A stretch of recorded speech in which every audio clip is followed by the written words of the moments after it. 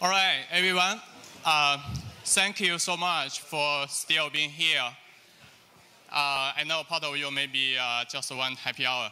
I'll go as quick as possible. So let's begin. The topic is about account leakage and its consequences. This is, sounds like a pretty, pretty old topic and boring topic. So why are we still talking about it here right now? There are indeed some new things. One is that we observe that uh, previously, of course, you, you all know, attacker will prefer to uh, attack the central server so that they could grab like millions of accounts in one time. However, most recent years that they were also trying to attack end users individually. This may partly because that all of the big companies have already adopted some good security design or implementations to secure the server.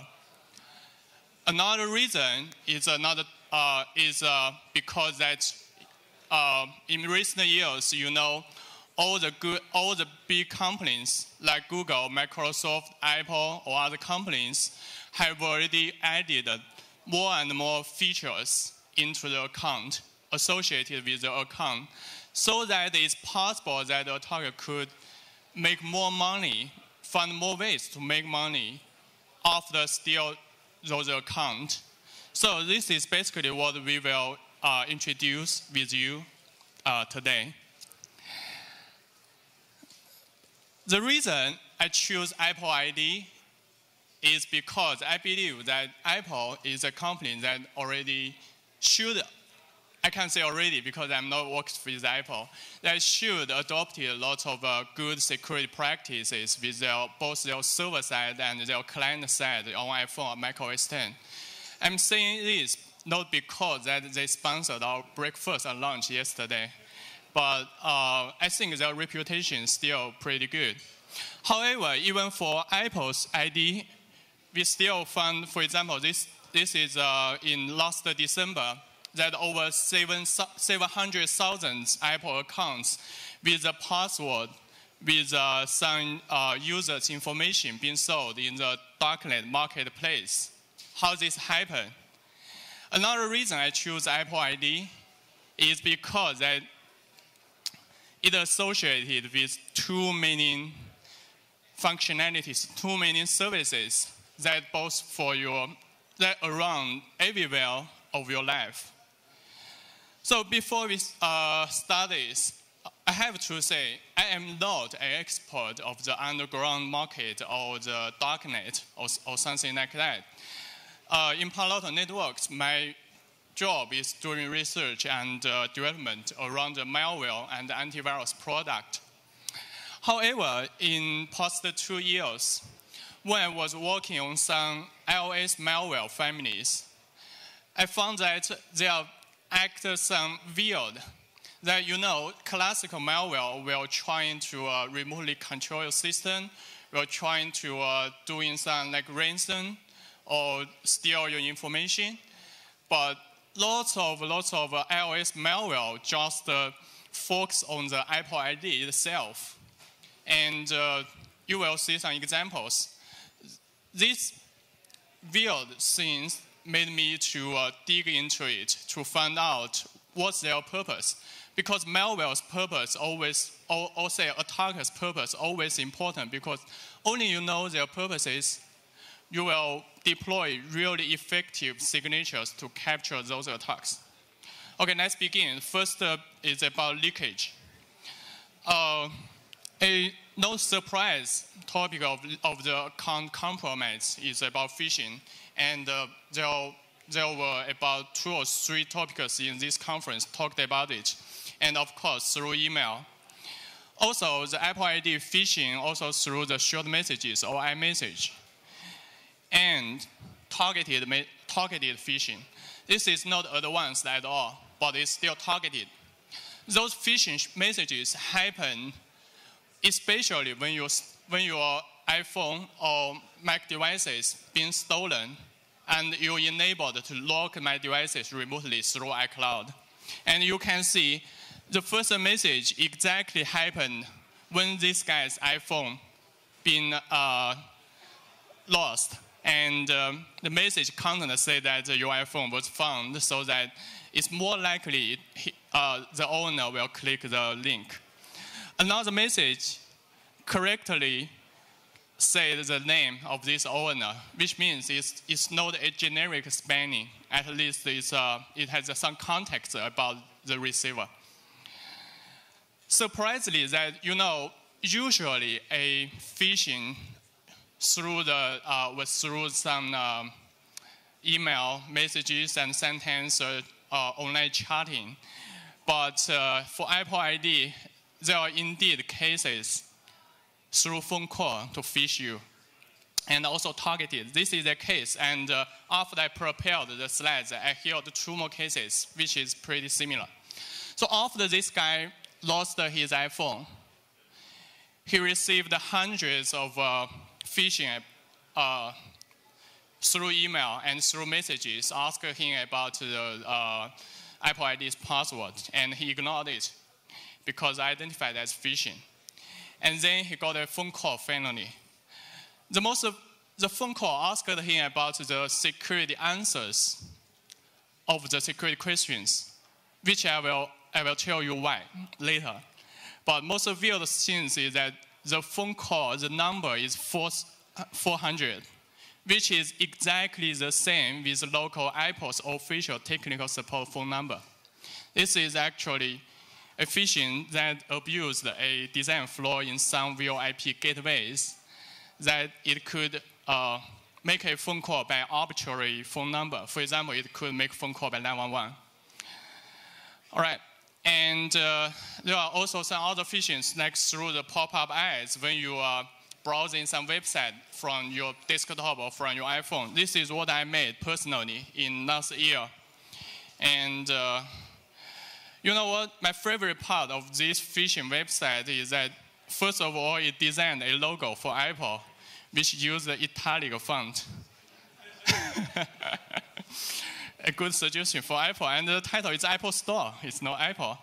The second part, I, I, I really feel interesting about this website is that in the foot it said if you received this email in the spam folder, click on Not Spam button, fix it. Jesus. Okay. Anyway, all of this phishing will eventually lead you to a website like this. Sometimes they pretty like Apple's official website, sometimes they not. But eventually they will ask you to input your password or security answers. And usually, most of them I observed use the, some URLs which contains the keywords about like update, Apple, find your iPhone or iCloud, something like this. So there are lots of ways to detect them, like the uh, you can find the keywords in the URL in website, in email, in short, uh, in the short messages. You can compare similarity, etc. And I think this is uh, this is some method that you uh, you may familiar with. Another thing that another method they use to grab your password to from end user is malware. These are two malware families that I discovered in two years ago. They, they do require you jailbroken your devices at first.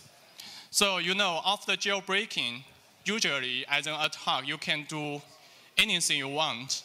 But the most simplest way to grab the password is uh, to hook the system API named SSLRead through the mobile substrate instrumentation framework. And through uh, this function was used by Apple in the iTunes Store or Apple Store.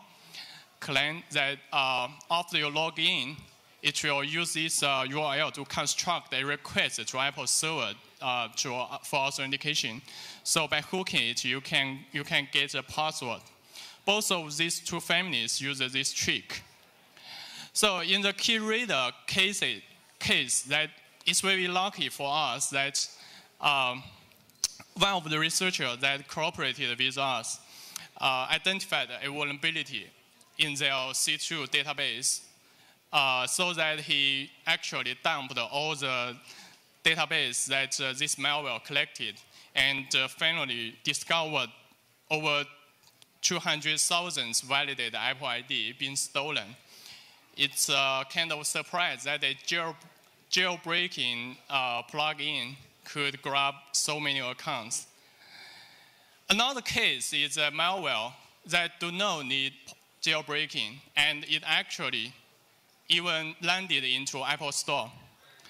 This one uh, provided services like third-party Apple Store. It provided services to, uh, for you to uh, download uh, iOS apps, pirated or not, permitting or not. It has a functionality that uh, it suggests you to log in your Apple ID through this app, and it listed lots of advantages, lots of additional features, and it claimed that they don't uploaded the Apple ID or password to their own server, but actually they lied. They will upload. This is not the only case. If we are not, if we talk about more other account systems, there are more cases. For example, the Insta Agent and WhatsApp stealer, there are two iOS malware or how to say, okay, I don't use the, the word malware, but those two apps will store your Instagram or WhatsApp accounts in similar way by providing additional features for users. For example, Insta Agent provides functionality say that you could know whoever viewed your Instagram. However, after you import your password, it will upload to the, uh, to the server. And this, this app at least occurred in Apple Store three times. So uh, the third problem is that you have no problem. The end user didn't been cheated and the server has no problem, but the email you use has some problem. Here is an example that in October 2015, over 100 million email accounts leaked, which all belongs to the same company, NetEasy, which is the most popular email provider in China. And me, myself, is also a user. Uh, maybe affected, maybe not. I have no idea. But I changed the password immediately. But immediately after the leakage, that there are followed lots of uh, lots of attacks to log in into Apple ID and lock your phone remotely and ransom for some money. Uh, this, uh, this associated because all of these uh, reported cases were all use NetEasy's email box that's not the end. In, uh, in January, in last month, there are like tens or I think thousands, millions of accounts being sold in darknet. And uh, you can imagine how many of them also registered Apple ID. And also, there are also like uh, leakages of the Mail.ru and Yandex.ru, which is two most popular Russian email providers. And there are also lots of cases of, of uh, Google's account leakage. For example, in uh, this, this is a case that Android malware steal uh, Google account and password in last year, which affected million accounts. And there are lots of other cases. Uh, the NetEasy case, which was said by official it's not an attack to the server, but just uh, reuse some password, which we cannot uh, verify. But anyway, password reuse is always a, you should consider the issue. And I, I, I think everyone should familiar with it, so I skip it. And another way is pretty interesting, that email system may have vulnerability in server side, but they may also have vulnerability in the front end. This is just a cross a cross-site script vulnerability, which is uh, usually being uh, thought as uh, not so severity, but it's actually being abused, uh, exploited by uh, attackers in the in the wild to uh, steal your Apple ID. So this is uh, this is a zero-day in Tencent's email system, and uh, it, it um, sends the victim a some kind of targeted phishing email, and uh, this is a, this is a results that uh, reproduced by researcher of this exploit, it could use successfully get the login token of the Tencent's email system website so that they could log in into the email system and recover your iPhone's or Apple's password. I will show you the price of these attacks later. So of course there are brute force. Brute force usually people, I guess maybe someone already forgot about it because nowadays everyone it's a common sense that you should prevent brute force by leg capture. However, sometimes if the if the login, if the API is a backend or, or internal internal API, if it's not a public services, sometimes you may forget to prevent brute force like this. This is happening three years ago when uh, some researchers discovered Apple's Find My iPhone functionality has an interface that can prevent brute force and the exploit being publicly available. And the last one, uh, seriously, this is not a security attack, but uh, I'll show you why, why I talk about this later. So people uh, in the underground, people also created Apple IDs in bunch. When I say in batch, it means like tens of thousands at least, and then sell it for the Apple Store for it. Okay, the next big topic is how to make profit. So we are not we are not talking about how to uh, we are not talking about those attacks which has some special political or other purposes. For example, this is a case that a an editor in Wired magazine being attacked that uh, somebody logged into his Apple ID and uh, remove, uh, removed all of his uh, data in the iCloud, which uh, no idea why, maybe some special purposes. This is obvious a targeted uh, attack and uh, not on purpose for money. But what we want to talk about is how to directly get quick money from those stolen Apple ID. The first one is spam. Spam, you can imagine that uh, advertisement, of course, is one of the most uh, important sources to make money for both internet, for, for everyone, I think, in the internet industry. But for the underground guys, spam is, is also one of the biggest sources. So this happened, for example, in last uh, Christmas and Black Friday, people uh, received uh, lots of messages like this. Uh, they are indeed master of the emoji. Yeah. Um, you know, this is actually pretty simple. As an attack, you you even do not need a password. You just need to know uh, recipient's email address. You could send the, send the iMessage. And uh, since Apple added the functionality about report junk, and then they discovered another method to deliver advertisement through iCalendar. So you know, iCalendar, you can invite your friend to participate a special event like BSides through the iCloud. But they, they abuse this to invite millions of people to uh, some events of uh, purchase something uh, or other advertisement. And this is actually not only occurred in your app, but also displayed in your desktop as a notification. You cannot ignore it. And of course, there will be email. But this email is uh, email spam is, uh, is a boring topic. But, uh, I, but I, I personally received uh, a special email, which is pretty interesting case I would like to share. This email I received in, in the NetEasy email box of mine. And it indeed from Apple, okay? It's really from Apple. I double confirmed three times it's officially from Apple without any problem. But the only problem is that usually when Apple call you, when Apple send a message to you, it will say, "Dear Claud, forward what what." What." But this one is not. This one said, "Dear, we are professional making fake ID document services, and please contact with me. Guarantee satisfied." Notice that this is from Apple. from when Apple has this kind of services. So this is obvious that uh, uh, they discovered some kind of like, uh, okay, the content is like somebody uh, choose a mailbox as my rescue email address.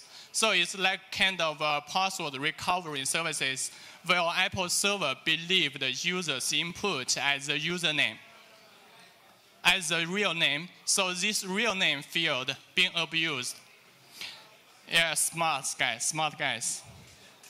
So reported to Apple and fixed it by removing my name. The next message is deal. That's all. Uh, there are, of course, the second big business of in underground is uh, Apple Store fraud. This is just like to uh, purchasing a house. Every, everything is about location, location, location. You know, a good location in Apple Store could make a successful startup in the valley. So location is always expensive this is a, this is a price list about how, how much could help you to promote any app to the top list of the Apple Store. And you can see in United States, in order to keep your app into uh, top 10 ones, that's uh, 16 grants. And so the Apple Store fraud, of course, has lots of technicals and uh, it, it, it, improved a lot. It's always a cat and mouse games. But the most important part for Apple or for other like Google to run the Google Play, one of the most important factor to identify fraud or to reduce the effect of fraud is that to identify whether this guy is a real people or whether this guy is a fraud activities from the attacker or machine. So all the fraud require lots of uh, Apple IDs. And uh, at first, they batchly re register like uh, hundreds of thousands of Apple IDs by machine. But later, these are pretty easy to be discovered because those Apple IDs have same register time, has uh, same activities, uh, do not have any user's data. So later, they are trying to steal your password and on, on your behavior to, uh, to promote those apps. And not only to promote it to a good location in the top list, but also trying to make some fake reviews or fake ratings, because these are important sometimes for, for some developers. So uh, sometimes user may discover that their, their password no change and uh, everything looks fine, but just their their uh, Apple Store history had some weird that never made reviews or ratings of purchase history. And attacker even, uh, even implemented the fraud in the malware. For example, the AppBuyer, which I said that steal your password, it will try to uh, automatically purchasing apps, which a command was received from the server.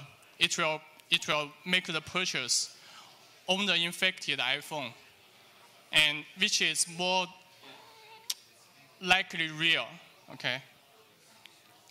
Here is another case that uh, I would like to share. This, this proved that the Apple Store fraud is not only affected Apple's business, but also may affect the end user. So this is a fake AV I discovered in last December in Apple Store. Okay, this is Mac Apple Store. And actually, you know, in Mac Apple Store, there are lots of low quality antivirus clients. But one day I discovered one of them, I discovered one of them even occurred in the top three, how weird it is. But this one, after analyzed, I found it's a, it's a fake AV or scareware because it will because it will uh, it intentionally constructed some bad quality signature, uh, which is uh, in the format of the clan AV, which could lead to a false positive to some system files. And it has two versions. One is free, one is premium for 10 bucks. And if you scan the, that lots of like hundreds of malware in your, in your desktop, it will ask you to pay that 10 bucks to clean, clean off them. But actually, all of, the, all of them, of course, false positive. However, usually those fake AVs shouldn't get in such good position. But after analyzing all the logs of the of the uh, of those days, uh, Apple stores data, it's easy to find that they use the Apple Store fraud to get such a position so that it could get more paid. Some other fraud happened, for example, in the recommendation system, that this, this happened when you're trying to search some uh, keywords in the Apple Store client. And uh, those are expensive. For example, in the overall recommendation, for any keyword to persist there for like uh, uh, six hours, you need to pay three grams to 10. And uh, even just for a keyword recommendation, you need to pay like, uh, wow, 200,000 per month. Yeah, they constructed lots of, uh, lots of fake requests or research response, search response requests to Apple server so that they cheated the machine learning model. This is a, this is a very interesting attack that this is the first time I see people really trying to uh, attack a machine, machine learning thing. Okay. And of course, you can, you can, on your behalf, to purchase an app and get money back. Um, especially when it's a game that in-app purchase item could be resold in, in some forums. And this also happened in malware. And the fourth method is, uh, is actually right now pretty popular now that uh, after I get your Apple ID, I could remotely lock your devices and ransom for money, like to unlock it, pay like uh, 0.1 Bitcoin or some gift card. This all usually happen together with they will change your password, they will change your email address, and sometimes they will also change your uh, change your security questions. Of course, to change your security questions, you need to answer it at first. That's why they sometimes phish you to ask you for your current answers. And yeah, it also implemented in some malware. And not locking, unlocking is also a kind of way to make business. For example, um, the unlocking is that uh, after your phone being stolen or lost or get by somebody else, that he would like to resell it but you already remotely locked it. They need to unlock it. So this is also expensive. For example, the uh, okay, of course, we are always lower than the price of the real devices. Uh, for example, that uh, cross-site vulnerability I just said will sold in like uh, 70 to 300 bucks. And they also provide services like help you to log in into the system and then unlock a specific iPhone by phishing, by targeted phishing. And here is a problem. Uh, due to the time, I, can, I, I almost skip it, but I still would like to ask. The problem is that after you got a lost or stolen phone, actually, in theory, it's impossible that you will get the you will get the full email address because this is by design impossible. However, they could do this. There are some underground services sold in the internet or in the darknet and price pretty cheap. That's just 10 bucks. And it has a successful rate. I have no idea why. This is really a question why this information leaked and lead to so many attacks. Also, there are some other unlocking methods like to uh, hard, hardly to uh, unsoldering the chips in the, in the devices to uh, unlock it. Uh, but this is not related with the account attack. Last thing is that uh, you can always uh, try to uh, steal your uh, steal personal data and then make a ransom to you because there are lots of privacy data. In uh, last year, you may have already known that lots of celebrities' uh, photos in the iCloud being stolen and being published in internet. And those photos, uh, yeah, and this guy is one of the targets being jailed right now. Okay, uh, sorry, it's not right now, being jailed just. And also, third-party Apple Store, this is a novel uh, attack that uh, I recommend you to read my analysis in the company blog. Okay, Nathan Lin. First of all, it attack will also attack users individually, not only focus on the server side. And you know, user, end user is always a weak point. Secondly, that all of the features that uh, if you design, if it's an important feature, it will be abused to uh, make profit eventually. And this will speed up the activities of attack the end user. So this is what I think some of the companies that not assumed before, and I do recommend you to reconsider the security model of the account system and trying to identify uh, those kind of stuffs in the underground. All right, thank you.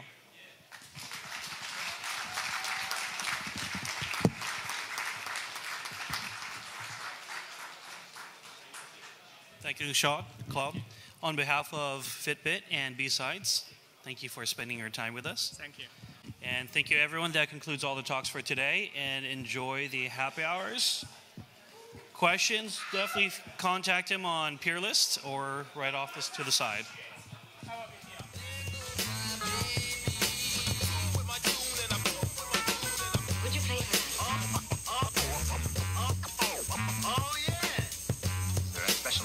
Would